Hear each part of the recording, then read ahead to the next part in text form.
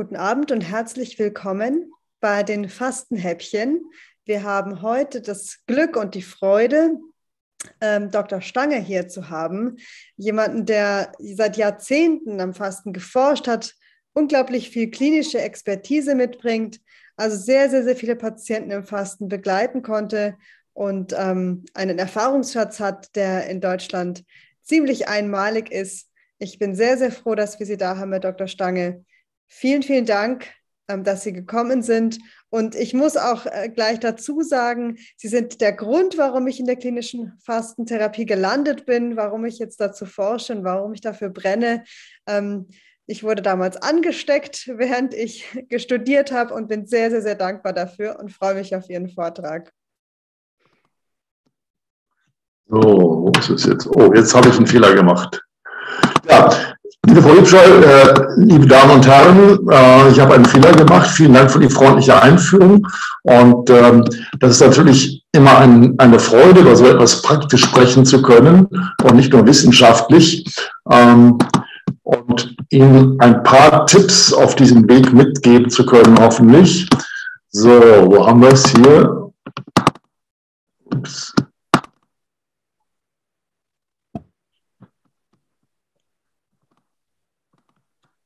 So, jetzt müssten Sie eigentlich, ähm, ja, jetzt müssten Sie es gut sehen. Ja, äh, unsere Einrichtung ist, wie gesagt, schon seit 50, mehr als 50 Jahren in Berlin mit den Fasten unter vollstationären Bedingungen äh, beschäftigt. Wir haben aber auch ambulante Fastenbehandlungen gemacht, Fastenforschung, wie Frau Liebschatten sagte.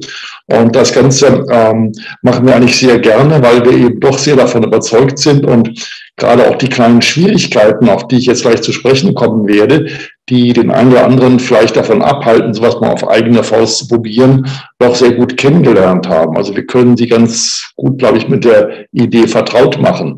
Ähm, es gibt eine Reihe von ärztlichen Gesellschaften in Deutschland, die sich mit Naturverfahren beschäftigten und hier in der untersten Zeile die Ärztegesellschaft Heilfasten und Ernährung, speziell eben mit, wie Name sagt, dem Fasten und die wird noch ein paar Mal zitiert werden. Das Fasten ist natürlich bei uns, wie in vielen Kulturen, zum Teil durch religiöse äh, Motive sehr stark durch Riten, durch Vorschriften äh, über Jahrhunderte bis Jahrtausende verankert. Der Mensch kann es, das haben Sie wahrscheinlich von Herrn Michalsen, so Sie beim letzten Mal dabei waren, schon äh, ganz gut gehört, dass wir die grundsätzliche Stoffwechselausstattung haben, um eine Fastenperiode gesund zu überstehen. Ob es nun das christliche Fasten ist von 42 Tagen, das mag dahingestellt sein. Das kommt mir relativ lang vor, aber im Extremfall geht dies sicherlich auch.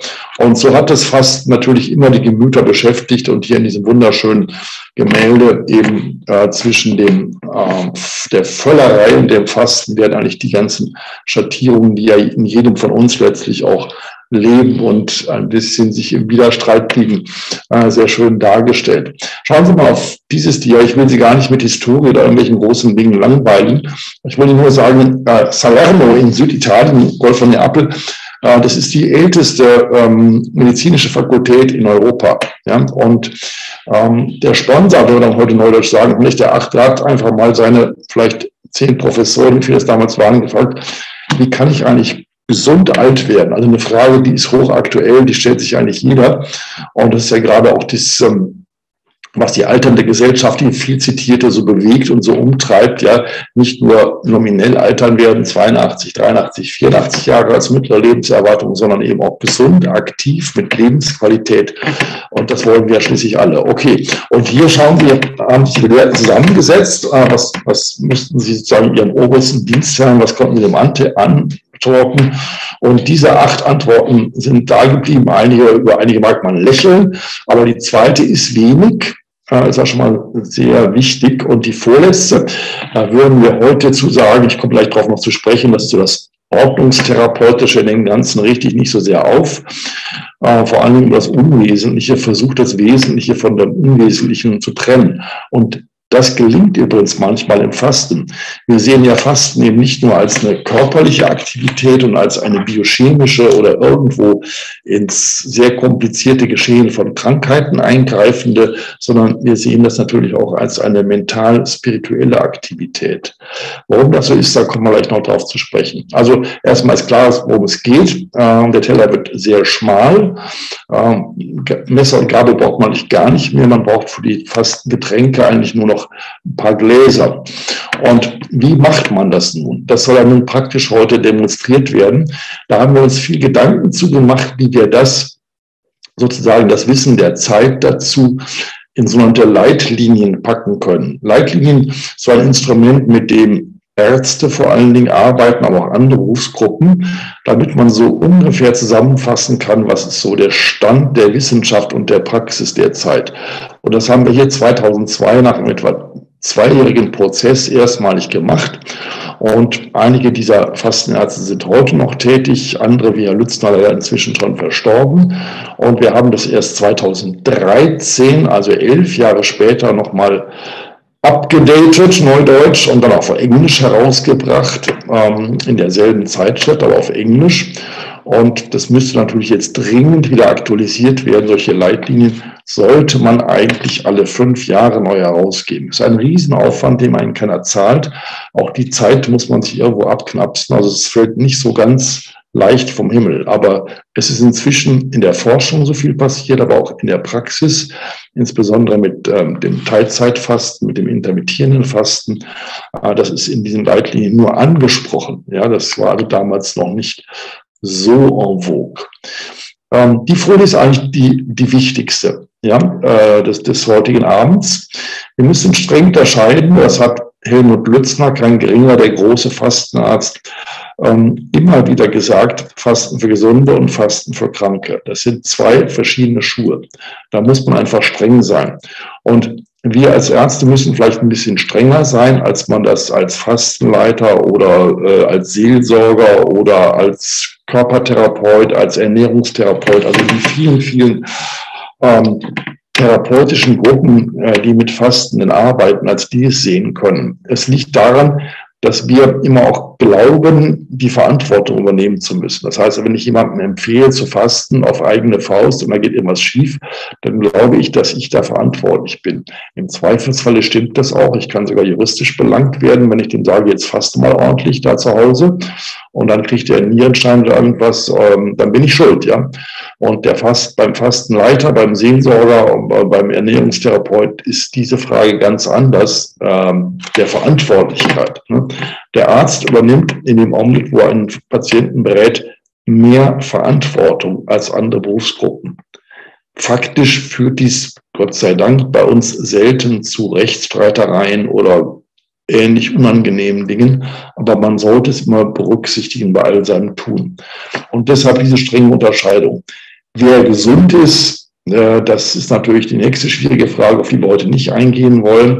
Wir wollen auf das Motiv eingehen. Und ich denke, unterstelle, dass die meisten, äh, die diesen Film, die Diskussion sehen, äh, eher sich für gesund halten und das Fasten eher aus präventiven und oder Erlebnisgründen praktizieren wollen.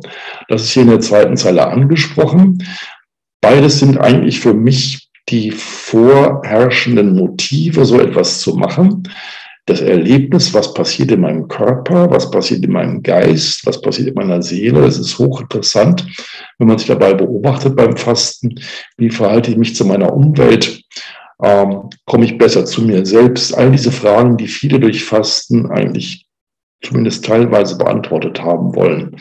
Das geht tendenziell, weil das Gehirn so enorme Stoffwechselumstellungen macht, ganz neue Brennkörper, die Ketone werden sozusagen zu 100 Prozent eingeführt und die lassen das Gehirn anders arbeiten in einem anderen, man würde heute neudeutsch sagen, Programm. Ich würde diesen Begriff für das sowas Komplexes wie das Gehirn nie gebrauchen wollen. Aber Sie wissen, was gemeint ist. Es ist ein anderer Modus. Man träumt mehr im Fasten. Man hat mehr Assoziationen. Viele Schriftsteller und Komponisten haben in Schaffenskrisen das Fasten genutzt, um einen Roman fertigzustellen, eine Symphonie, was immer. Gibt es sehr bekannte äh, Beispiele aus der Geistesgeschichte. Ähm, Wenn Sie so weit gar nicht kommen wollen, sondern einfach nur mal ein bisschen mehr über sich selbst nachdenken, dann nehmen Sie ein Tagebuch, schreiben Sie Tagebuch während des Fastens. Schreiben Sie, ich habe Patienten immer ermuntert, schreiben Sie einen langen Brief an jemanden, dem Sie schon lange nicht mehr geschrieben haben. Sie werden überrascht sein, ein Freund, ein Angehöriger, was Ihnen alles einfällt, diese Erlebnisdimension, ja, das Wichtige und Unwichtige zu trennen, das ist so eine tolle Erfahrung, die wir eigentlich viel zu selten machen. Darüber hinaus kann man natürlich sagen, ganz rational, ich faste, weil ich dann wahrscheinlich länger gesund lebe. Meine Gelenke werden entlastet, mein Herz-Kreislauf-System. Wenn meine Gefäße bis zu einem gewissen Grad einen Entzündungszustand aufweisen sollten, weil ich doch mal einen leicht erhöhten Blutdruck hatte oder mich ab und zu mal zu viel aufrege oder was immer, dann werden die im Fasten entlastet, die Gefäßwände werden wieder dünner, das Ödem, die Wasseransammlung in den Gefäßwänden verschwindet. Das ist alles völlig richtig. Also ganz subtile Effekte, die der Hausarzt oder der Kardiologe, der Internist eigentlich gar nicht richtig messen kann. Das ist erst der präventive Aspekt. Über biochemische oder molekularbiologische äh, Dinge wie Telomere oder ähm, Zellreinigung oder all diese Dinge, die da diskutiert werden können, will ich heute gar nicht sprechen.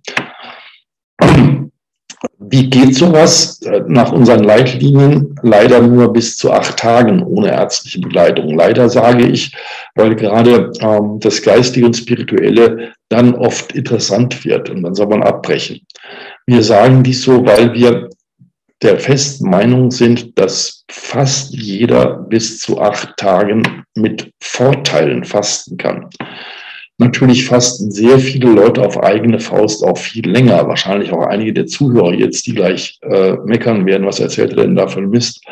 Ähm, das ist richtig. Das können Sie auch auf eigene Gefahr, wenn Sie sozusagen für sich Verantwortung übernehmen und Fastenführer lesen und die Technik beherrschen. Dann können Sie auch länger fasten. Nur wir dürfen es Ihnen nicht so ganz ohne weiteres empfehlen, weil ähm, unerwünschte Folgen sich unter Umständen dann ganz leicht häufen. In der Medizin ist man da sehr streng, da geht es um Promille von Ereigniswahrscheinlichkeiten, nicht von Prozenten. Also wenn irgendein Ereignis von 0,5 Promille auf 1 Promille sich steigern würde, zwischen 8 Tagen und 15 Tagen Fasten, dann ist das für uns schon äh, eine ernste Sache. Für den Laien ist das keineswegs. Also man muss hier ein bisschen die Kirche im Dorf lassen und sehen, was eine Berufsgruppe, die sich wissenschaftlich und verantwortlich damit beschäftigt, nach draußen lässt. Und das, was derjenige, der auch für sich und seinen Körper eine gewisse Verantwortung übernimmt und auch eine, ein Gespür hat für sich, was der sich zutraut. Da liegen natürlich Unterschiede. Äh, wir sind, wir haben eine Fastenkultur bei uns für Gesunde. Wir haben viele Schriften dazu. Wir haben dann eben auch natürlich Videos und YouTubes. Aber wir haben auch persönliche Kenntnisse, die von einem Fastenleiter vermittelt werden oder von einem Diätassistenten. Die meisten sind Fastenleiter. Das ist eine Art Weiterbildung. Gibt es auch ein Zeugnis für eine Akkreditierung, die zwei große Organisationen vergeben. Also wenn Sie an, sol an solchen geraten, dann sind Sie eigentlich in besten Händen. Und diese Angebote können einzeln gemacht werden. Sie wollen jetzt unbedingt gerade fasten, äh, weil ihnen gerade danach ist oder weil die Familie verreist ist oder sie haben gerade Urlaub oder irgendwas, aber sie wissen nicht wie. Und äh, finden Sie einen Fastenleiter, dann müssten Sie sich ein paar Mal von dem beraten lassen. Das kostet natürlich ein bisschen Geld. Und dann können Sie fasten. Wenn Sie ein Gruppenangebot nutzen wollen, dann schauen Sie auf die Seiten der Fastenleiter. Das können Sie ganz leicht rausgoogeln. Da gibt es fantastische Angebote. Wohnort fern, Wohnort nah. Äh, wir haben zum Beispiel eine Kollegin, die macht das im Schwarzwald in ihrer Hausarztpraxis regelmäßig zweimal im Jahr. Sammelt sie eine lokale Gruppe natürlich von Leuten, die da tagsüber hinkommen können äh, mit denen sie da äh, seit vielen, vielen Jahren erfolgreich fastet. Sowas machen auch leider nur sehr wenige Ärzte, äh, leider nur, weil das aufwendig ist und weil die Honorierung schwierig ist. Die erfolgt eigentlich rein privatärztlich. Und wenn ich das als Arzt anbiete, muss ich eigentlich auch eine, diese berühmte 24 Stunden, sieben Tage Erreichbarkeit garantieren. Das heißt, ich muss den Teilnehmern eine Mobiltelefonnummer geben, wo sie mich Tag und Nacht, Wochenende, Ostern äh, jederzeit erreichen können. Auch das passiert natürlich selten, dass da jemand anruft, aber auch das ist natürlich ähm, eine gewisse Belastung für einen, der sowieso schon mit seiner Hausarztpraxis äh, genug zu tun hat. Einzelne machen es und das ist ein sehr erfolgreiches Modell der Fastenbegleitung. Die Masse der Gruppenfasten, äh, des Gruppenfastens passiert bei uns durch Fastenleiter. Und da können wir wählen zwischen Ostsee, Nordsee, Hochgebirge, Kanarische Inseln. Äh, da ist also alles möglich mit Wandern, ohne Wandern, mit Meditation, ohne Meditation. Ähm, da gibt es sehr, sehr viele Varianten. Das finde ich auch sehr gut übrigens, denn ähm, es soll ja so sein, dass es für sie relativ stressfrei und bereichernd ist. Und für manchen ist Wandern auf den Kanarischen Inseln vielleicht sehr bereichernd, für andere, äh, die nicht so gut zu Fuß sind, naja, das ist mal alles zu anstrengend, die gehen lieber nach Hiddensee zum Beispiel, da haben sie es flach. Also es ist gut, dass wir so viele Angebote haben und die werden auch reichlich genutzt. Das Gute ist natürlich, dass die Gruppe ansteckend ist und dass die kleinen Probleme, die ich Ihnen gleich ganz ehrlich, wie ich hoffe, schildern werde, dass sie natürlich in der Gruppe besser weggesteckt werden. Und dass in den Gruppen oft eine, ich habe das oft genug gesehen, eine, eine fantastische Stimmung oft entsteht. Also man, man euphorisiert sich regelrecht. Ja. Gut. Ähm, das, was ich natürlich beruflich mehr vertreten habe, ist das Fasten als Therapie wird auch Heilfasten genannt. Viele bevorzugen den Begriff. Ein bisschen vorsichtiger. Heilung heißt ja eigentlich, dass alles wieder wie vorher wird. Gerade bei chronischen Krankheiten, die das Gros unserer Fasten darstellen, äh, Rheuma, Arthrose, Bluthochdruck, Stoffwechselstörungen, bestimmte Hauterkrankungen und, und, und, gibt es oft eine wirklich sehr erstaunliche Symptombesserung, aber keine echte Heilung. Also im medizinischen Sinne hieß ja Heilung, dass wir diese Krankheit hinterher nicht mehr feststellen können, über Jahre und Jahrzehnte. Das äh, ist durch Fasten eigentlich nicht erreichbar. Da muss man auch ein bisschen das realistisch sehen. Aber wenn Sie diesen Begriff in seinem alten, sagen wir mal im 19. Jahrhundert, frühes 20. Jahrhundert, in seiner alten Begrifflichkeit sehen wollen, dass Sie doch eine deutliche Besserung erzielen wollen, dann gerne. Heute, wie gesagt, bei chronischen Krankheiten, wenn wir davon Heilung sprechen, dann muss die eigentlich völlig verschwinden. Fasten als Therapie ist ein Begriff, den meines Wissens Herr Farner geprägt hat. Der war lange Chefarzt der Fastenklinik Buchinger am Bodensee und hat das für Ärzte beste Buch Fasten als Therapie dazu geschrieben und indem er seine ganzen etwa 40 Jahre Fastenarzterfahrung zusammengefasst hat. Er nannte es, er war ein, wir kannten ihn sehr gut, ein sehr bescheidener Mensch, Fasten als Therapie. Klingt etwas bescheidener als Heilfasten, aber meint dasselbe. Ähm, es sind zwei Kriterien dazu zu beachten. Ich muss eine sogenannte Indikation haben, also einen Anlass, einen Grund. Ähm, ich muss mir beziehungsweise der erfahrene Fastenarzt muss mir die Fragen beantworten können. Kann Ihre Erkrankung oder Ihre Erkrankungen, können die von dem Fasten profitieren? Wenn das nicht der Fall ist, dann kann ich unter Umständen auch fasten, aber es ist kein therapeutisches Fasten.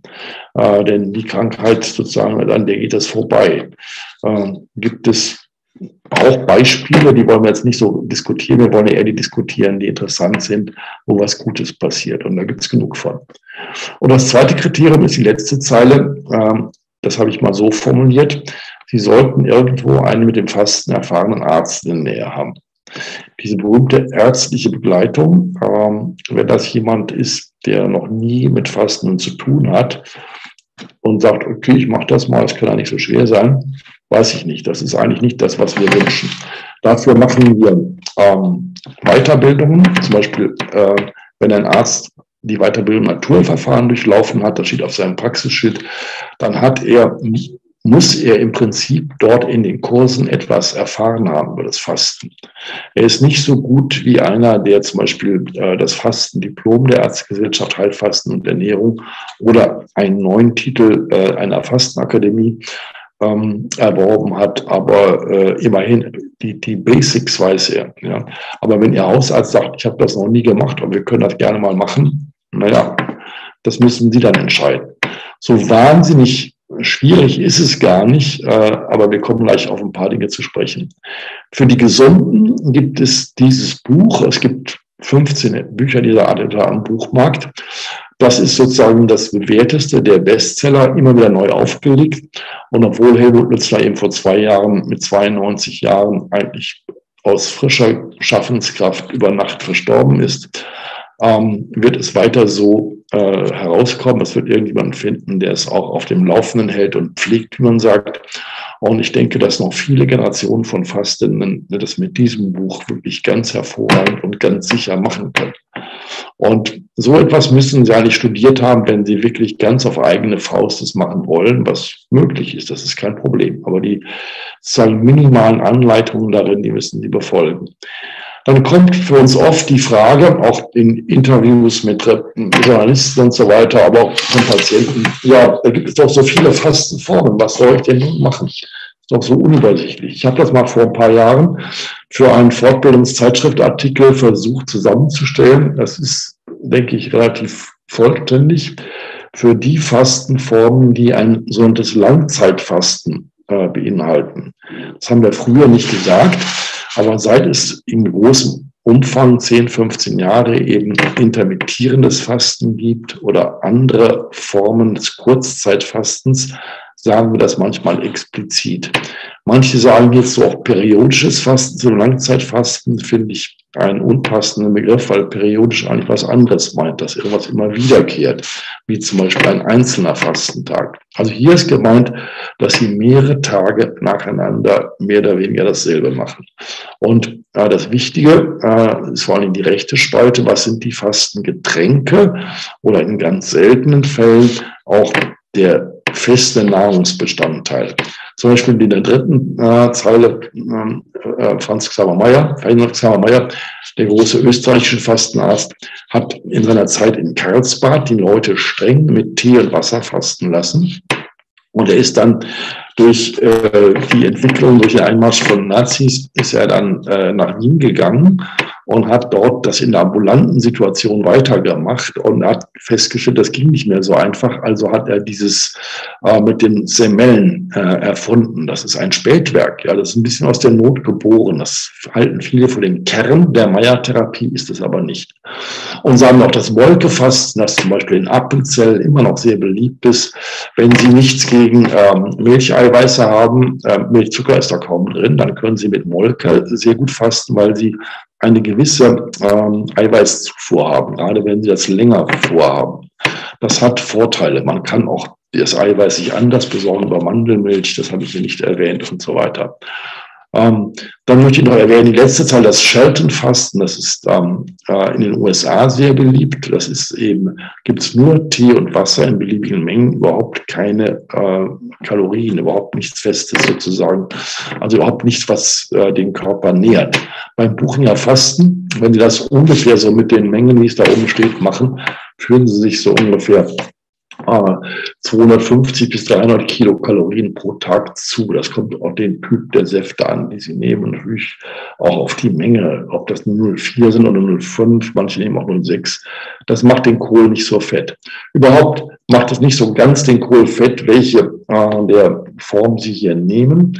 Das zum Beispiel bei dem Schrotkur, die großen kleinen Klinkkragen, das wird in Oberstaufen, dem Mekka der Schrotleute, streng so gehandhabt. Ah, das ist ein bisschen kompliziert auf den ersten Blick, aber es kann auch reizvoll sein. Ja. Ähm, der, die meistgebrauchte Form ist die oberste Zahl des Buchner Fasten mit den Obst- und Gemüsesäften und der Gemüsebrühe.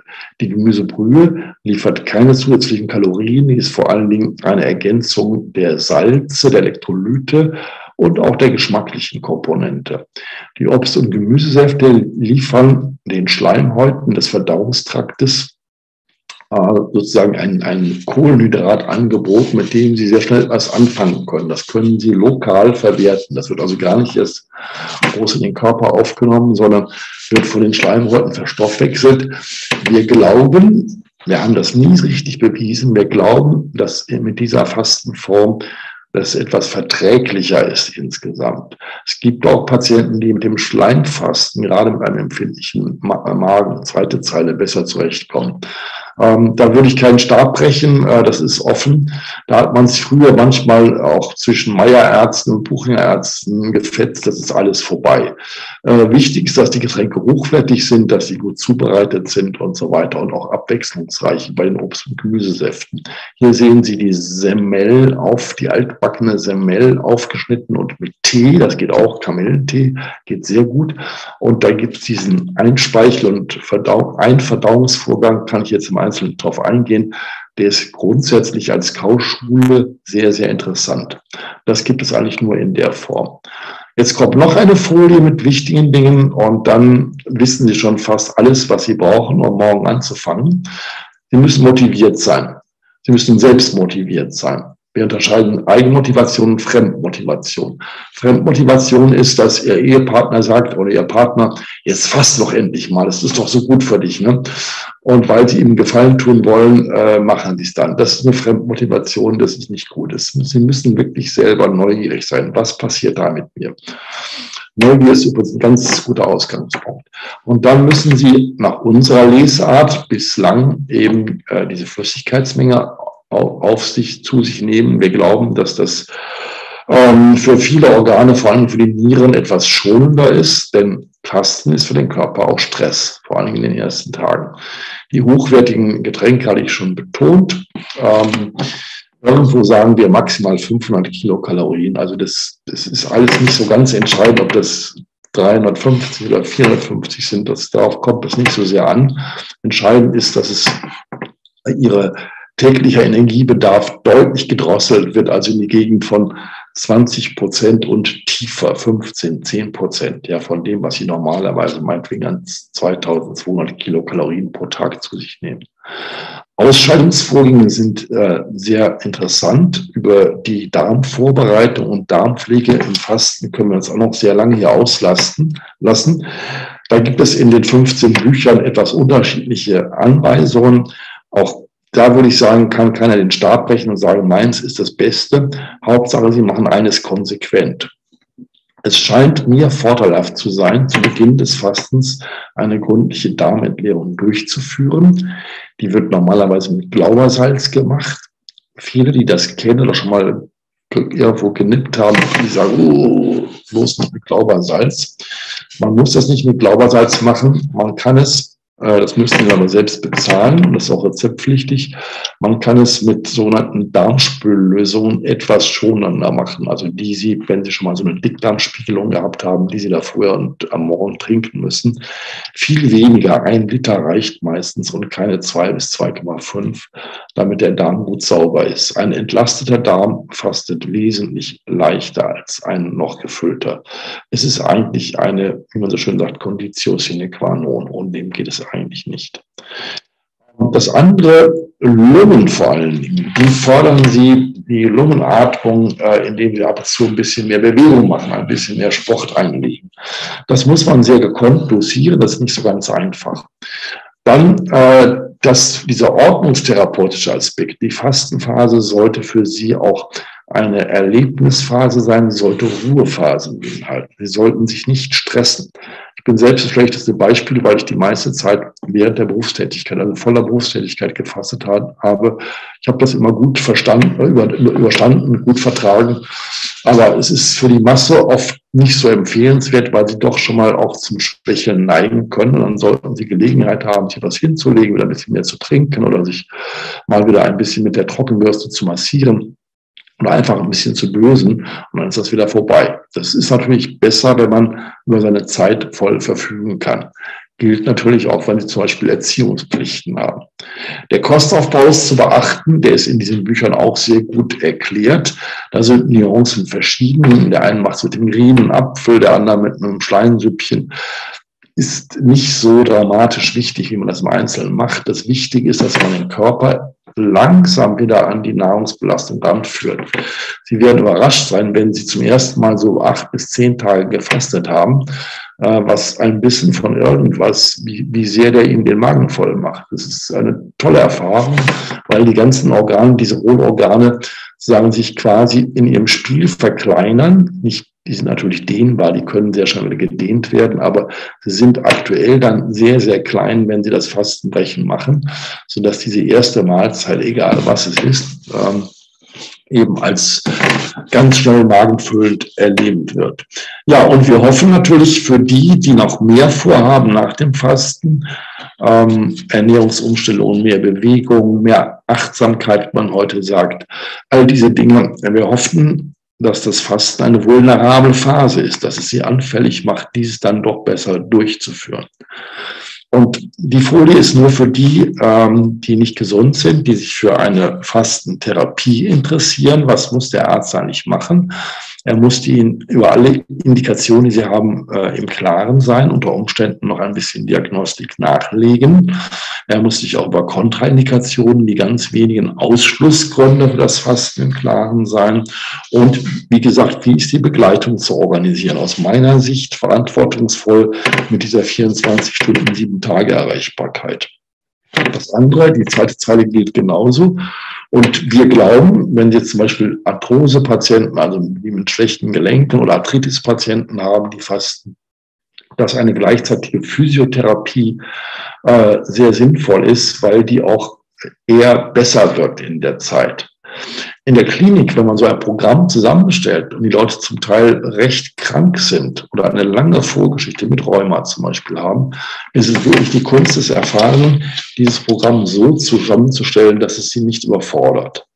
Das war früher besser, als wir noch längere Krankenhausaufenthalte damit haben konnten, realisieren konnten. In Privatkliniken ist dies auch heute noch so. Spielt gerade bei der Eigenfinanzierung oder der geringen Zuzahlung einer privaten Krankenversicherung die Länge nicht so eine große Rolle. Da kann man an das Ganze vorsichtig herangehen. Es war früher fantastisch. Wir haben früher Leute 22, 23, 24 Tage in der Klinik gehabt. Ähm, das war so schön, aber heute das DRG-System erlaubt dies uns nicht mehr. Psychotherapie ähm, tiefenpsychologische Gespräche, aber auch schon mit dem behandelnden Arzt ein langes Gespräch über die Lebenssituation, über belastende Momente sind. Das haben wir immer erfahren. Äh, die sind so leicht auf einmal. Die Zunge wird so gelöst. Das ist fantastisch. Und auch die vielen Patienten, die da Widerstände gegen haben, die glauben, ach, bei mir ist alles in Ordnung, was soll ich mit so einem Gespräch? Die werden auf einmal sehr viel weicher und, und offener. Das ist sicherlich zu ihrem Vorteil. Jetzt diese Indikationen, da haben wir ganz viele eine, das ist die Auswahl eins hier, ja, also das berühmte metabolische Syndrom, unter dem so viele der Wohlstandsgesellschaft leiden, aber auch die chronisch entzündlichen Erkrankungen wie das echte Rheuma, das sind tolle Indikationen.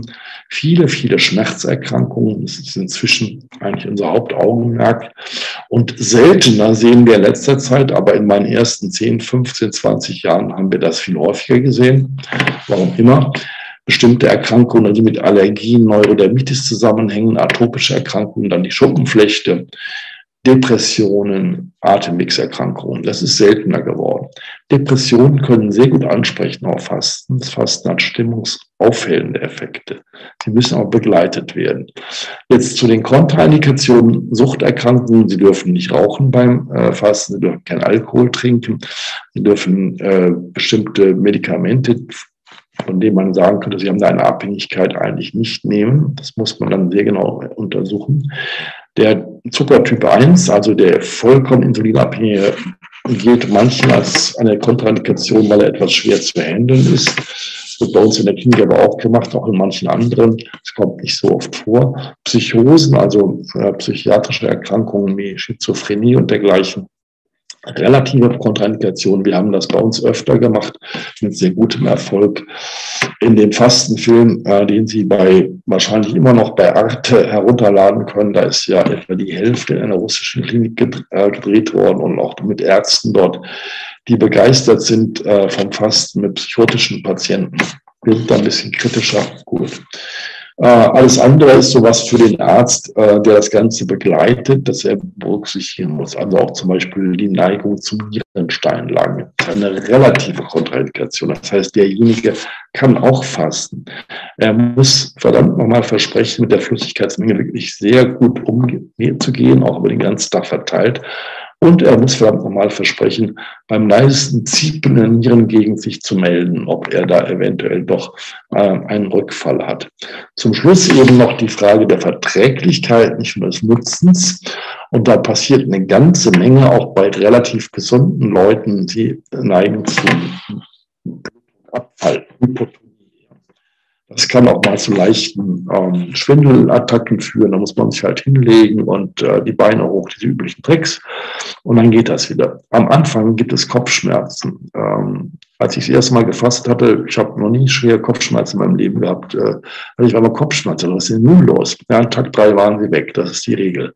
Migräniker haben ein echtes Problem. Ein Migräniker würde ich nie empfehlen, auf eigene Faust zu fasten. Das kann ganz üble Anfälle am Anfall, am Anfall auslösen. Gut, dann die Schlappheit kommt bei vielen, ist oft eine Frage des Salzmangels, Kalium und Natrium vor allen Dingen, lässt sich also tendenziell überwinden, aber es gibt auch Typen, die auf dieses Fasten so reagieren. Wenn sie trotzdem weniger Gelenkschmerzen haben, dann nehmen sie es hin, dann seien sie halt schlapp die paar Tage. Das ist ja auch nicht so schlimm. Ja, es wird wieder besser. Und die anderen Dinge, Gichtanfälle, ist immer wieder viel diskutiert worden, will ich jetzt hier nicht in Ausführlichkeit äh, sagen, weil derjenige, der eine Gicht aufweist, ist eben ein Kranker und der gehört, das ist dann Fasten als Therapie und nicht Fasten für Gesunde. Das heißt, der Fastenarzt muss dieses berücksichtigen, muss sich äh, über die Gicht auslösende Momente bei demjenigen äh, im Klaren sein, muss seine aktuelle Harnsäure kennen und, und, und. Also da gibt es dann doch einiges zu beachten. Alles andere ist relativ bagatellhaft. Ja, und das haben wir auch in diesen neuen Leitlinien so zusammengeführt. Ähm, äh, äh, Schwangerschaft ist auch und Stillzeit ist bei uns auch eine äh, Kontraindikation. Und dann gibt es ein paar Dinge, die der Erfahrene weiß, aber nicht der Laie und auch nicht der Arzt, der das noch nie gemacht hat. Ja, wie geht man mit Medikamenten um? Da gibt es teilweise in gewissem Maße Vorschriften oder Erfahrungswerte, wie man Dosisanpassungen, meist Dosisreduktionen vornehmen muss. Und was dann sozusagen ähm, insgesamt als Bilanz wichtig ist, die bagatellhaften, also gerade diese Kreislaufgeschichte, bagatellhaften äh, sind relativ häufig, sind aber eben bagatellhaft. Folgenschwer sind umgekehrt relativ selten. Das ist die, die Basisbotschaft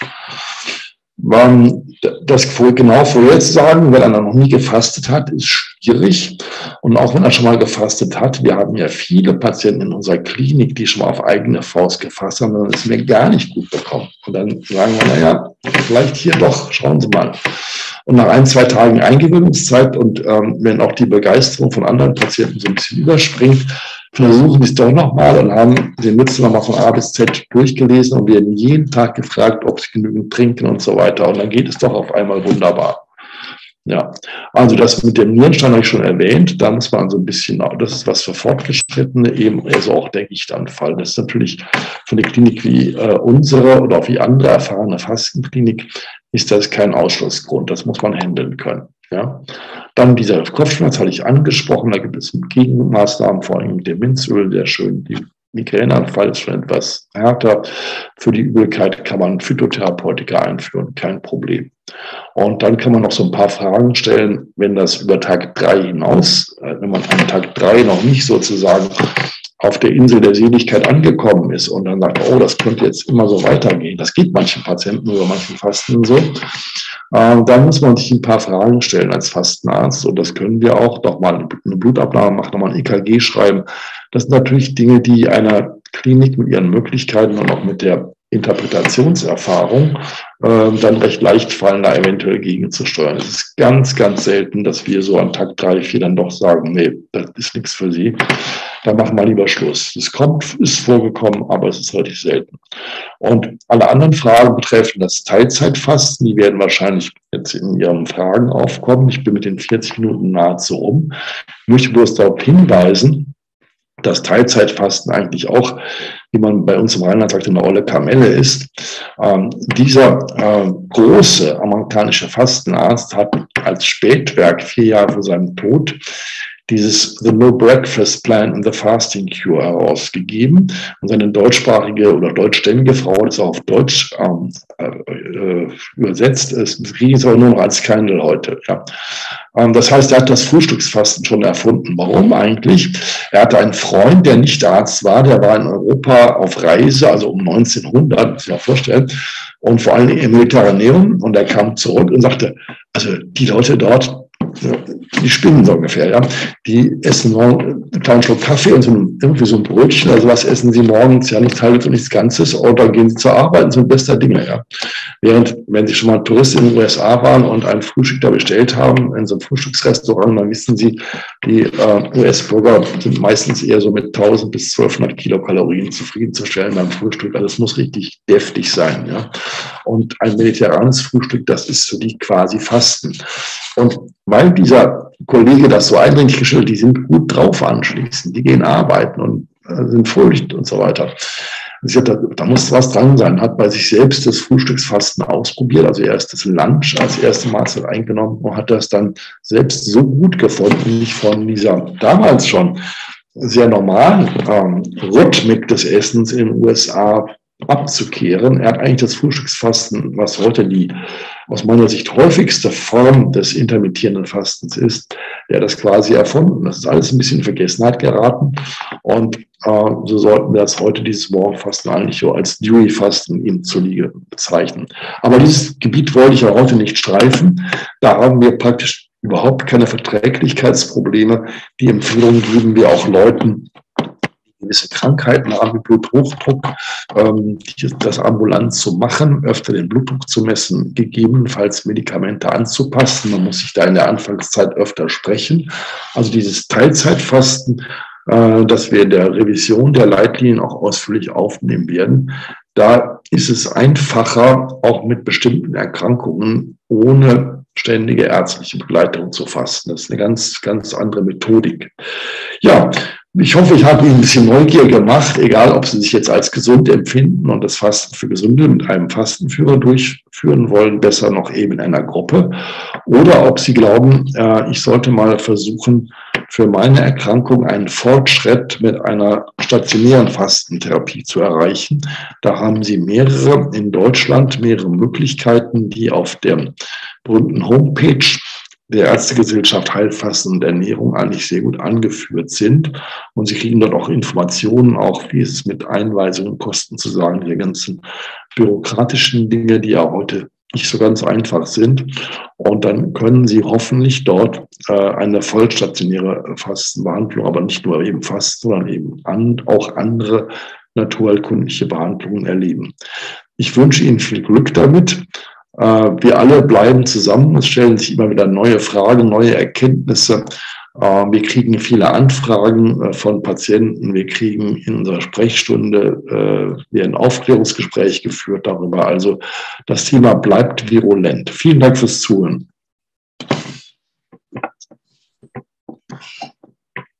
Herr Stange, vielen herzlichen Dank für diese sehr umfassende ähm, Einführung in das Thema Fasten tatsächlich. Und es kamen einige Fragen, die würde ich jetzt gerne stellen.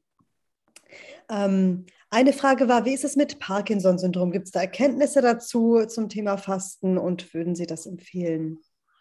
Das ist eine sehr gute Frage. Ähm, also wir haben in den 35, 38 Jahren, die ich das bei uns in der Klinik begleitet habe, ganz selten Patienten gehabt, die auch Parkinson hatten. Äh, meistens war es eher so, dass sie auch Blutdruck oder Diabetes hatten und den Parkinson eher als die Begleiterkrankung, nicht als das Ziel einer Fastenbehandlung. Und da haben wir eigentlich gute Erfahrungen gemacht. Ja, es ist natürlich so, ähm, die Leute, die dauerhaft ein Medikament nehmen, das ihnen äh, einen gewissen Komfort sichert, die muss man darauf hinweisen, dass es hier sehr viele offene Fragen gibt. Also äh, wissenschaftlich gesprochen, insbesondere die Metabolisierung in der Leber, die Resorption im Darm, die Eiweißbindung in der Blutbahn, äh, geben sehr viele Rätsel auf, wie so ein Medikament dann in derselben Dosierung mit derselben Exaktheit eingenommen in der Fastenphase wirkt. Äh, die, ich habe gelernt, als ich anfing, da waren so alte Fastenärzte, die waren damals eben 30, 40 Jahre älter. Und die sagten, die können fast alle Medikamente reduzieren, äh, der Effekt bleibt gleich, es ist alles empfindlicher.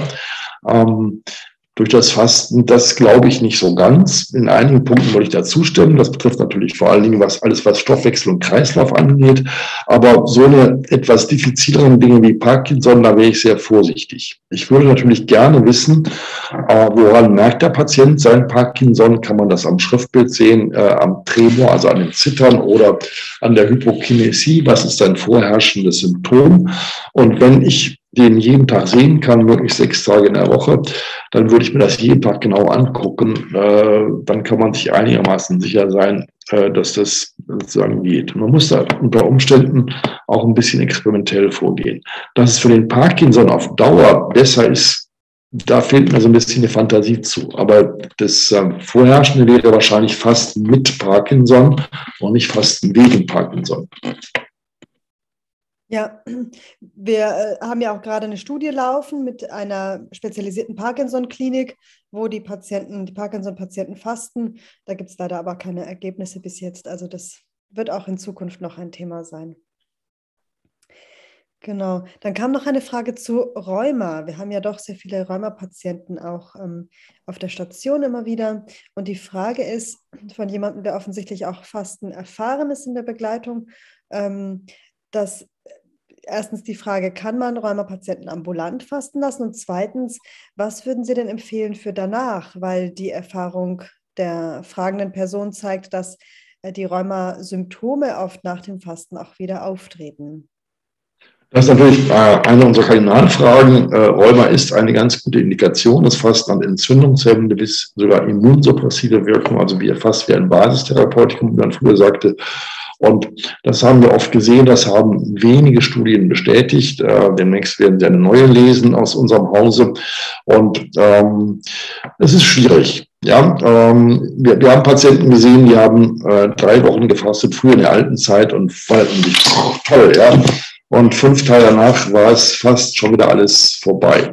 Wir haben Patienten, die wir in unserer Hochschulambulanz ein halbes Jahr später sehen, die sagen, oh, mir ging es noch viele Wochen, wenn nicht Monate, sehr, sehr gut. Und dann kam es ganz langsam wieder. Ja. Auch das ist ein, ein häufiger Verlauf. Muss man natürlich sehen, dass heute die meisten Rheumatiker so eine Langzeitmedikation haben und sehr viele haben also das Biologikum. Ja. Und ähm, da sieht die Situation ganz anders aus. Wenn Sie ein Biologikum haben und haben damit vielleicht, sagen wir mal, das ist schwer einzuteilen, aber ich würde mal so ganz grob sagen, Sie haben damit 80 Prozent Krankheitskontrolle, dann sage ich immer in der Beratung, äh, wir versuchen von den anderen 20 Prozent, die uns noch fehlen, so viel wie möglich durch Naturverfahren äh, hinzuzupacken, wie in ein Baukastensystem. Ja, das ist eigentlich logisch. Und ob das immer funktioniert, ob diese Wirkungen additiv sind, wie man äh, wissenschaftlich sagt, das wissen wir oft nicht. Das kann man aber ausprobieren. Ja, also wenn jemand weiß, wo seine Zipperlein sind, also noch ein bisschen Morgensteifigkeit, Anlaufprobleme und so weiter, nach längerem Sitzen so, so typische Geschichten, und der sagt nach fünf Tagen Fasten, hey, das ist viel besser, ich nehme mein Biologikum weiter, dann wissen wir, dass wir von diesen 20 Prozent vielleicht 10 Prozent erwischt haben.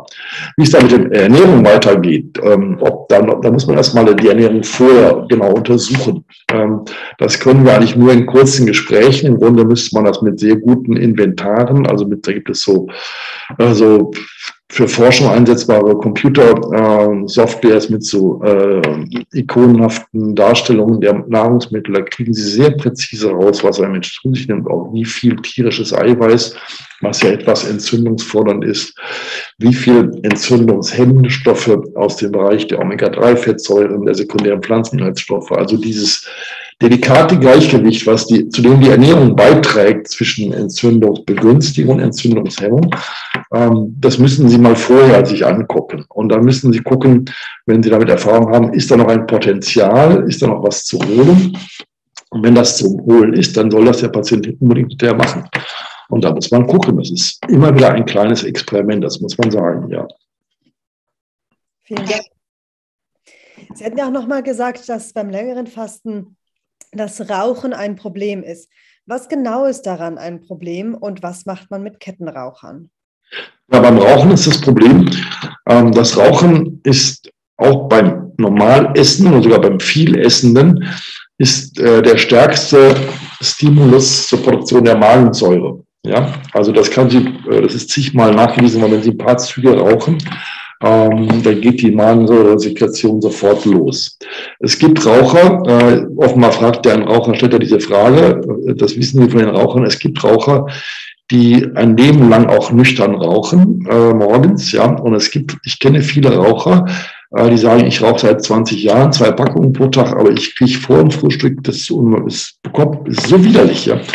Da sehen Sie schon, wie verschieden die Leute da sind, ja. Und ich nehme an, ich bin nicht ganz sicher, dass dieser starke Stimulus in die Magensäure, der natürlich, wenn gar nichts im Magen ist, äh, sich noch ungünstig auswirkt auf Übelkeit äh, und so weiter, dass das viele einfach nicht, nicht verkraften. Das nächste ist natürlich, dass es gefäßaktiv ist und dass wir alles das, was wir auch mit der Physiotherapie machen wollen, Gefäßtraining nennt man das, ja, das konterkarieren sie, wenn sie da, dagegen rauchen. Ja, da kann man es gleich vergessen. Ja. Also das ähm, ist insgesamt keine Situation, die zusammenpasst. Ja, aber umgekehrt, äh, die positive Botschaft ist, ähm, viele haben das Rauchen dadurch aufhören können. Ja. Wir müssen uns eigentlich Schauen Sie, das ist immer so eine Frage der Betreuung und der Geduld. Ich, ich finde Raucher als Patienten unheimlich interessant. Äh, ich verdamme kein wegen des Rauchen. Und äh, da ist unheimlich viel Potenzial äh, für ihre Zukunft zu holen, aber man muss ein bisschen Zeit haben, muss natürlich auch ein bisschen ein Herz dafür haben. Ich habe früher selbst geraucht. Äh, ich weiß, äh, dass das auch schön sein kann. Ja, das sage ich jedem Raucher. Und dass es auch angenehme Züge hat, äh, wenn Raucher zusammensitzen und Käffchen und Zigarette und nette Gespräche. Ähm, das kann ja alles ganz nett sein, aber es ist natürlich Quatsch. Ne? Also da muss man sich im Klaren sein. So, deshalb kommen eben die meisten von weg. Wenn wir jetzt Schwierigkeiten davon weg, zu dem helfen wir ja. Es gibt ja auch so gute Hilfsprogramme. Nikotinpflaster können unterstützen. Äh, eine Suggestionsbehandlung, ja, also ganz, ganz viele Dinge. Und so, ähm, so muss man sich dem nähern.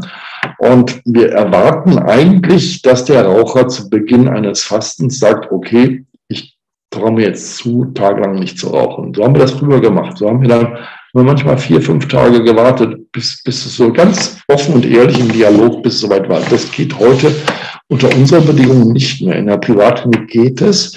Es kostet alles Geld. Das ist halt immer eine Frage von Zeit und Geld.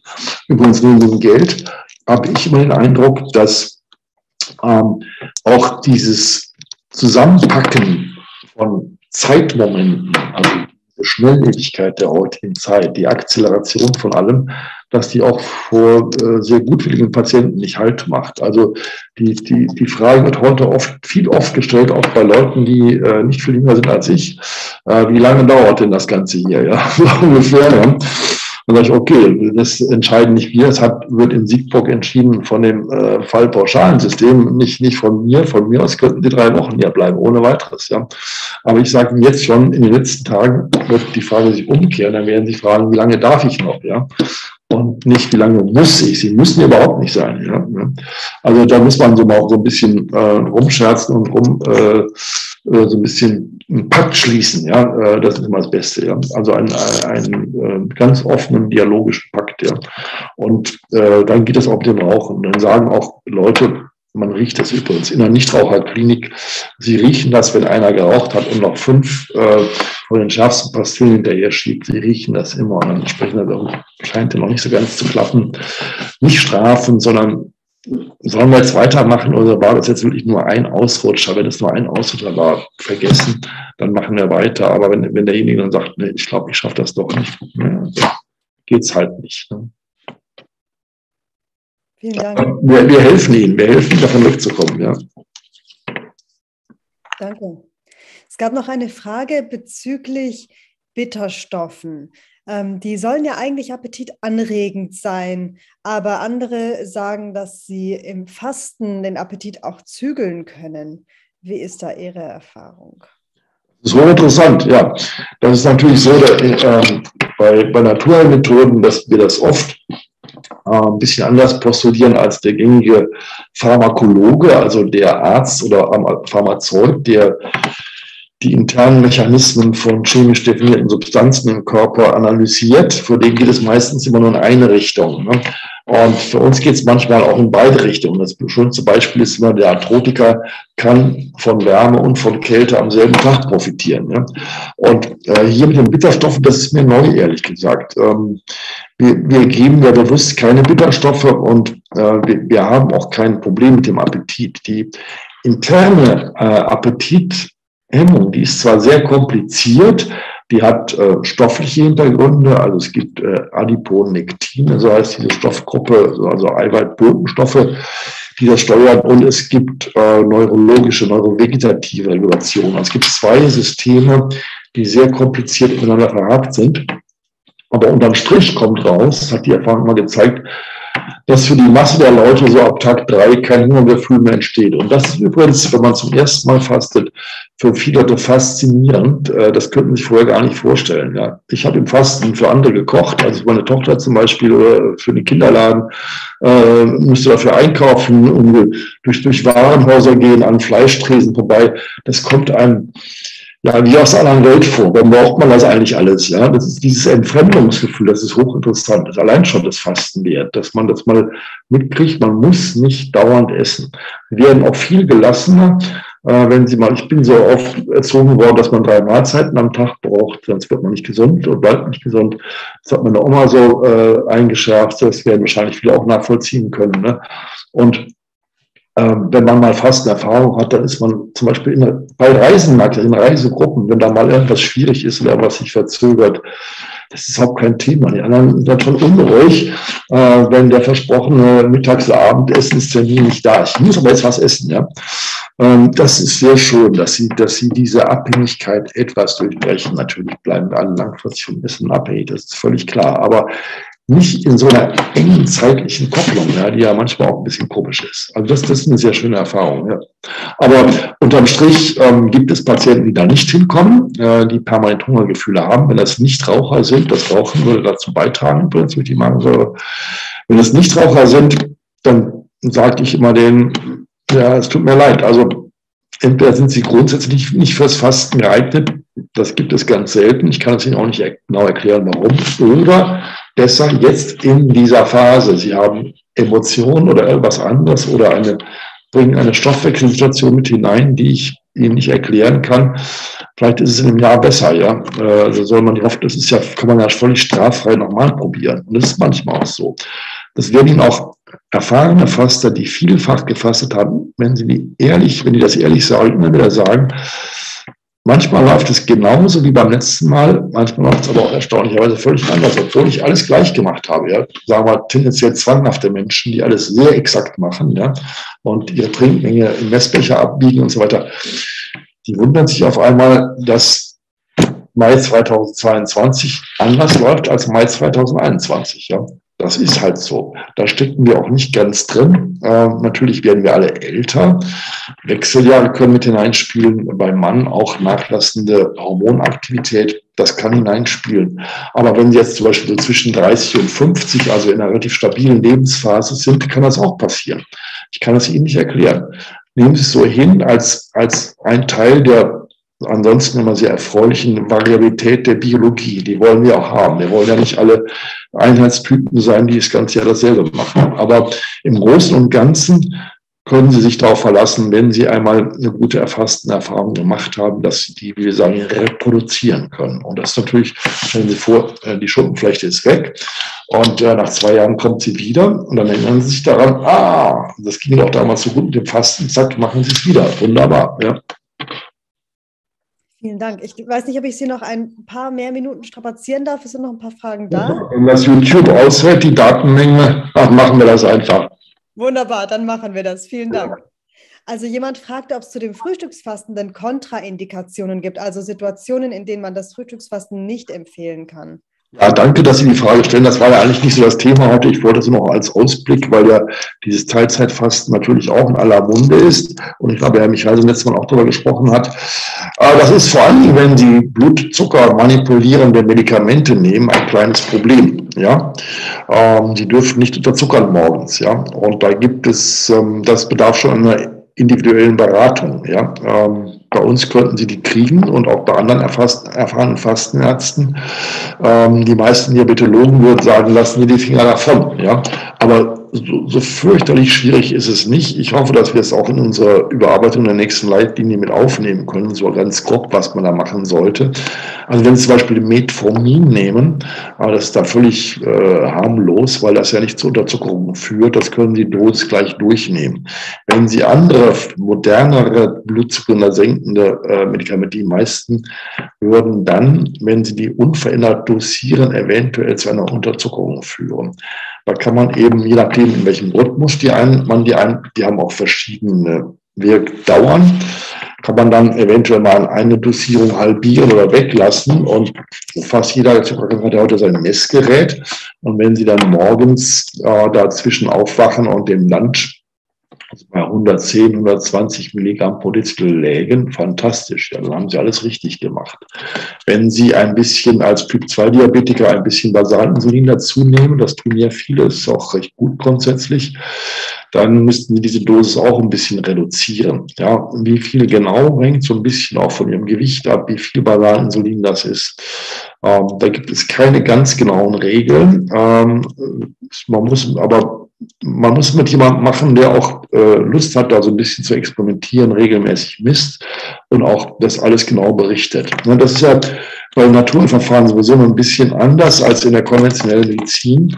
Wir erwarten von Ihnen auch, dass sie ein bisschen mehr Verantwortung für sich übernehmen, dass sie nichts unter den Teppich kehren, dass sie die Dinge, die wir besprechen, auch äh, so regelmäßig machen und alles, was ihnen auffällt, berichten. Und äh, dann kommt man auch gut dahin. Und wenn man einem Patienten sagt, wissen Sie so, diese Dinge, äh, die sind alle nicht so 100 pro erforscht, wir tasten uns jetzt mal ein bisschen ran. Wenn der Zucker jetzt bei einem Tag 130 statt 110, das ist auch nicht schlimm. Aber beim nächsten Mal ist dann durch eine Dosisanpassung schon meinetwegen diese 110, also ein, ein nahezu idealer, für einen Diabetiker, ein idealer nüchterner Blutzucker, den er über den Vormittag hält, wohlgemerkt. Ja.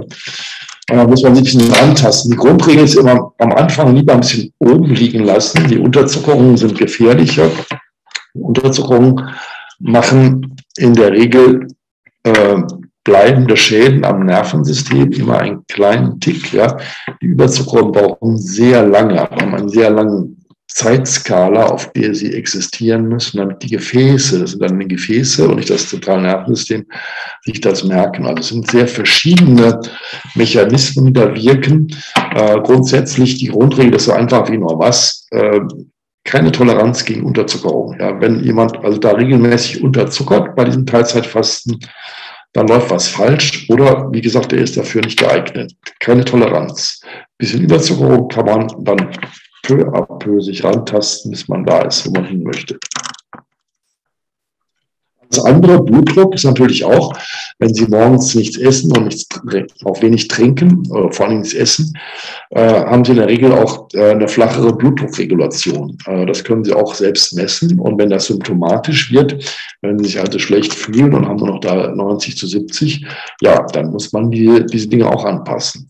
Und dann stellt sich natürlich die nächste Frage, wollen Sie das jetzt jeden Tag den Rest Ihres Lebens machen oder ist das jetzt mal was für zwei Wochen oder das hängt dann sehr stark davon ab. Ja, äh, es ist schon, schon knifflig, aber es ist für, natürlich für Fastenärzte eigentlich heutzutage eine wichtige Herausforderung, dass wir das richtig beraten. Ja. Danke. Äh, noch eine Herausforderung ist für Frauen oft zu wissen, wann in ihrem Zyklus das Fasten Sinn macht. Ähm, viele fragen sich, ob die Menstruation sich dadurch verschiebt oder ausbleibt, ähm, ob es einen optimalen Zeitpunkt gibt und ob man Supplemente nehmen muss, vor allem wenn die, wenn die Regelblutung ansteht, ob man da Eisen oder rote Betesaft zu sich nehmen muss im Fasten. Ja, die Frage können Sie ja wahrscheinlich inzwischen besser beantworten als ich, weil Sie sich damit beschäftigen. Also grundsätzlich gibt es auch da keine festen Regeln. Ich würde vor allen Dingen fragen, ob Sie ein sogenanntes prämenstruelles Syndrom haben, also Beschwerden, bevor die Mens kommt. Das haben ja viele, vor Dingen jüngere Frauen. Wenn Sie das haben, dann würde ich das äh, Fasten so in die, in die ersten Tage äh, sozusagen des neuen Zyklus starten lassen, so an Tag drei vielleicht oder so plus minus, ja. Und hoffen, dass Sie dann zum Beispiel äh, beim nächsten Mal äh, weniger Beschwerden und auch natürlich dauerhaft weniger Beschwerden haben. Wenn Sie äh, an Tag 20 äh, anfangen und Ihre prämenstruellen Beschwerden fangen, Sie haben einen regelmäßigen Zyklus, die fangen regelmäßig an Tag 25 an, dann kann es sogar sein, dass sie verstärkt werden. Also ich würde das immer abwarten, äh, sagen, äh, die Blutung und in, in der Frühphase anfangen.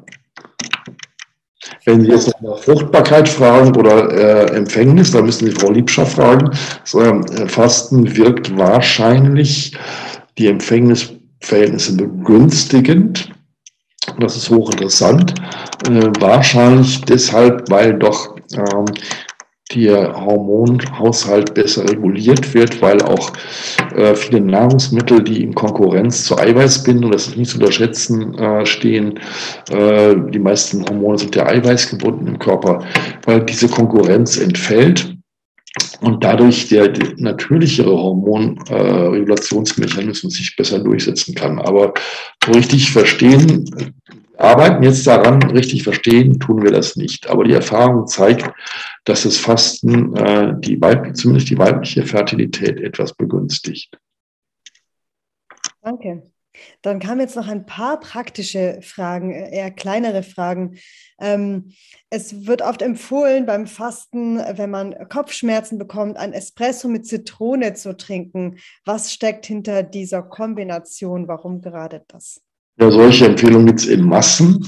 Viele meinen, dass der Kopfschmerz ähm, sozusagen ein Entzugskopfschmerz von Koffein sei. Äh, das glaube ich nicht. Ich bin wieder mal ein Beispiel. Ich habe damals, also so Anfang 30, praktisch nie Kaffee getrunken und hatte diese üblen Kopfschmerzen in meiner ersten Fastenphase. Äh, ich kenne es auch von vielen Teetrinkern, äh, dass die Kopfschmerzen kriegen. Also ich glaube das nicht so ganz mit dem Kaffeeentzug. Äh, die, die Nikotingeschichte ist in der Naturkunde, äh, Quatsch, Koffein schon. Der Koffein ist einmal ein bisschen übertrieben worden äh, in seiner Wertung, aber das können wir jetzt nicht diskutieren hier in Extenso. Ähm, die Zitrone äh, wird oft äh, sozusagen äh, wegen ihrer schwachen Säure werden, ja, es gibt da so äh, basische Eigenschaften in Relation zur Magensäure. Ja, das haben sie auch mal die schwache Säure verdrängt die stark aus ihren Salzen, sowas haben wir alles mal in Chemie gelernt. Also schwache Säuren in saures Milieu äh, eingebracht wirken dann anders. Ja, und äh, das wurde oft postuliert, das können Sie versuchen. Ja, das ist wunderbar. Wir haben nichts gegen Zitrone. Ja, ähm, also das können Sie versuchen. Sie können von mir auch den Espresso versuchen. Ähm, wenn dann die Kopfschmerzen los sind, wunderbar. Ja, äh, ich glaube nicht so ganz. Am meisten hilft natürlich Ruhe, noch mal ein bisschen trinken. Vielleicht mal versuchen, einen Augenblick zu schlafen. Sowas würde ich empfehlen. Ähm, und wie gesagt, was man immer unterschätzt, ist, wenn gerade mit dem Glaubersalz am Anfang der Flüssigkeits- und Salzverlust, der ist, der ist relativ kräftig und der führt zu komplexen, ähm, wir sagen, Dysregulationen des, der, Volumen- und Elektrolytregulation. Das ist meine Hypothese eher. Und da kann man, das hat mit Kaffee und Tee oder äh, nichts zu tun. Ja, ähm, Wie gesagt, ich persönlich bevorzuge diese Vorbereitung mittlerweile mit den, mit den Darmspüllösungen. Die sind wesentlich verträglicher. Da gibt es zwei Probleme. Ähm, sie wurden nicht immer schon so gemacht. Also mit Glaubersalz gibt es eben 50 Jahre Erfahrung mit Millionen von Leuten. Und das Glaubersalz ist quasi eine natürliche Substanz. Äh, in den Darmspüllösungen ist PEG, Polyethylenglykol drin. Dann sage ich den Patienten immer, das ist, was sie in ihren Kühler tun, wenn sie ein Auto haben oder was da in der Kühlflüssigkeit ist oder was mal im österreichischen Weinskandal als Punchmittel gebraucht wurde, ja, das ist die nackte Chemie, ja. Ja, aber es ist eine sehr gute Chemie, ja, weil ähm, der Darm wird sehr gut vorbereitet, viel besser als ich. Wir haben ja früher auch diese salinischen Vorbereitungen gemacht und es war immer so, dass die, die Darmspülung schlecht war, dass die, die Sicht für den Endoskopiker schlecht war. Und heute haben sie eigentlich das, wovon wir träumen, eine Darmschleimhaut, auf der überhaupt keine Speisereste mehr kleben und die sich von daher auch sehr gut regenerieren kann, einschließlich ihrer Darmflora. Ja. Das ist eigentlich viel besser. Äh, ähm, es ist, wie gesagt, teurer. Ähm, äh, es wird geschmacklich auch nicht so gutiert, kann man auch keine Werbung für machen unbedingt. Ähm, aber man kann zum Beispiel bei den Patienten, die schon mal eine, äh, Spülung wegen einer Darmendoskopie hatten, an, daran anknüpfen und sagen, das ist genauso, sie müssen nur weniger trinken. Und trauen sich das zu, ja, den einen Liter, meistens reicht ein Liter. Wenn die Spüllösung klar sagen ausgeschieden wird, dann reicht das. Ja. Wenn es noch sehr braun ist, dann geben wir noch einen halben Liter hinterher, auch kein Problem. Es ist schonbar und es ist wahrscheinlich auch effektiver. Bei dem Glaubersalz geht eben viel Flüssigkeit und auch Salze verloren und die müssen sie, da müssen sie ständig gegen ansteuern. Ja, und wenn ihnen übel ist in der Zeit, dann fällt es schwer dagegen anzusteuern. Also auch dem Gutwilligsten. Das ist ein bisschen, da beißt sich ein bisschen die Katze in den Schwanz. Also ein noch ungelöstes Problem. Ich bin sicher, dass wir in, in 10, 20 Jahren das nur noch mit solchen äh, Dingen wie, wie Darmspüllösungen machen werden. Sollte man im Fasten denn Supplemente nehmen? Sollte man weiternehmen, was man schon nimmt? Und sollte man sowas wie Basika zum Beispiel zu sich nehmen, also basische Salze? Ja, das ist wieder eine Riesendiskussion. Ähm, also die, die Mehrheit der Fasten, also das ist, da können Sie Kontroversen mit auslösen mit der Frage, ja. Äh, aber das ist ja gut, dass Sie stellen. Die Mehrheit wird sagen Nein. Ja. Die Meierärzte zum Beispiel, die ich sehr schätze, ich bin selbst ein halber Meierarzt, also ich habe auch diese Weiterbildung mal gemacht.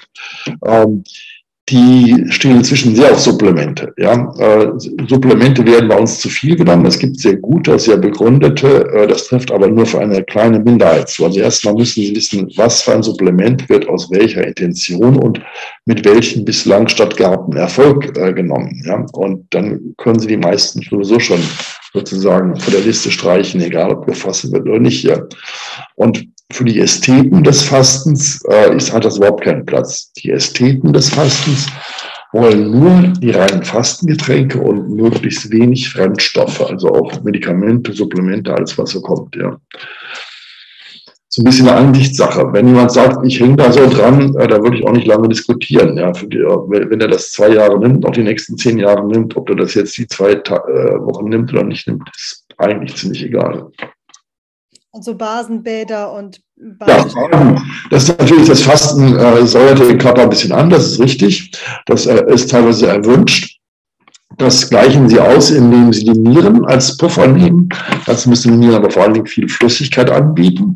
Und die Lungenatmung. Ja, die Lungenatmung ist, ist der beste Säurepuffer. Dazu müssen sie ab und zu mal ein bisschen in Wallung kommen. Ja, das, das ist viel besser als alle Pulverchen. Ja. Wenn Sie chronisch nierenkrank sind, ja, das ist dann eine ganz spezielle Frage, die wir jetzt aber nicht weiter diskutieren werden, dann machen diese Basenpulver enormen Sinn, ja, ne, aber für einen Gesunden eigentlich aus meiner Sicht nicht unbedingt. Wenn Sie sich wohl damit fühlen, wenn Sie sagen, ich habe einmal mit Basenpulver, einmal ohne Basenpulver, einmal hatte ich diese holländischen Kopfschmerzen, das andere mal nicht, dann würde ich gar nicht diskutieren, würde ich sagen, nehmen Sie Ihr Basenpulver in Gottes Namen, ja, wahrscheinlich profitieren Sie davon, ja. Da ist übrigens auch, da sind sehr viele Mineralien drin, sehr viel Magnesium in den meisten drin, sind ja verschieden je nach Hersteller komponiert. Äh, in einigen ist auch sehr viel Kalium drin, also das kann es schon bringen. Ja, das kann man auch anders haben, ja, aber ähm, ich bin immer, wenn Patienten glaubhaft Erfahrungen oder auch Bürger gemacht haben mit irgendwas, ich würde die nie in Frage stellen und sagen, wenn sie diese Erfahrung gemacht haben, dann gilt das für sie oder machen sie es wieder so. Ganz einfach. Danke. Dann gab es noch eine Frage, kann man ähm, zum ersten Mal mit über 80 Jahren fasten oder sollte man das lieber lassen? Ja, tolle Frage. Ähm, Klinik Buchler hat mal eine äh, äh, Veröffentlichung gemacht über ihre Wiederholungsfaster anhand der Krankengeschichten. Und da, die haben viele, äh, die Einrichtung gibt es seit 1953, glaube ich, also am Bodensee, äh, nicht in Pyrmont, die, die zweite am Bodensee. Und die haben viele, die Jahrzehnte dort wiedergekommen sind, treue Fastenkunden, Patienten. Ja? Und da waren auch welche, die noch mit über 80 gefastet haben, mit gutem Erfolg. Aber die waren schon sehr lange Fasten erfahren. Ja? Hm. Wie das reinspielt, weiß man nicht. Ähm, wenn ich sie in der Klinik hätte und würde sie betreuen und sie wollten das, da würde ich in Ruhe mit ihm besprechen, würde mal auch in Ruhe Ihnen sagen, ähm, welches Restrisiko auf Ihrer Seite bleibt und was ich weiß, was ich nicht weiß, sage ich immer gerne sehr offen, was ich nicht weiß. Ja.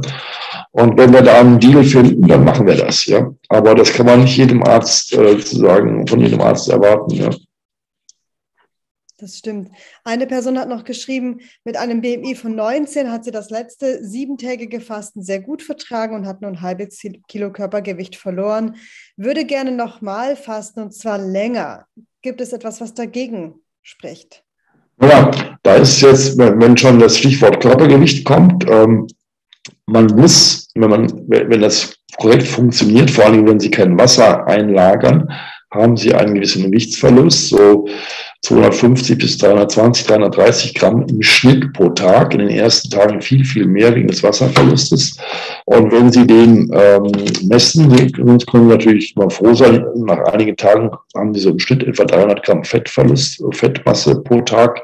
Das ist für viele sehr interessant und sehr wichtig.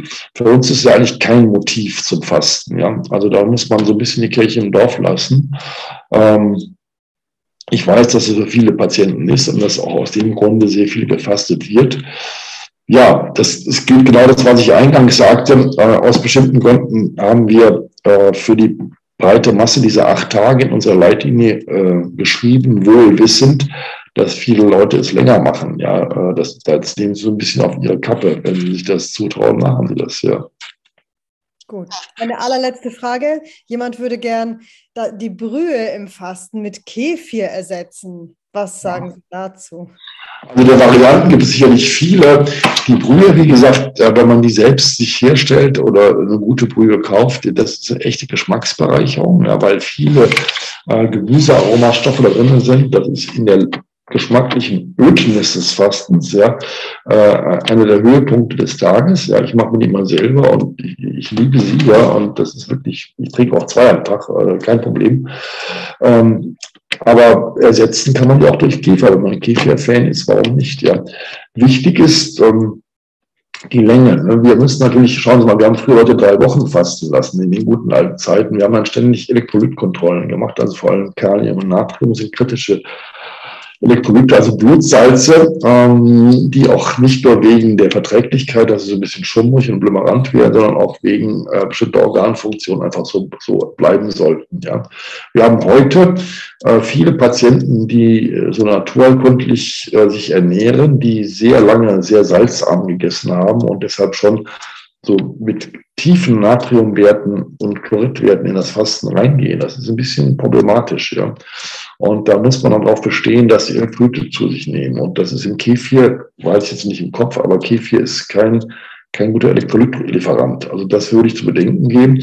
Wenn Sie den Geschmack des Kefir brauchen, um über die Runde zu kommen, da muss man ein bisschen großzügig sein. Ne? So Leitlinien und so Bücher, die geben generelle Empfehlungen für den, der nichts anderes weiß. Wenn Sie sagen, ich schaffe es nur mit Kefir, dann mache ich es nur mit Kefir. Vielen, vielen herzlichen Dank, dass wir so viele Fragen noch loswerden durften. Das ist ganz, ganz wunderbar und ein großer Erfahrungsschatz, den Sie mit uns geteilt haben. Vielen Dank nochmal und ähm, ja, damit verabschiede ich mich von dem Publikum, was jetzt zugeschaut hat oder in Zukunft dieses Video schauen wird. Vielen Dank und alles Gute beim Fasten. Ja, viel Spaß nicht. Vor allem. Tschüss.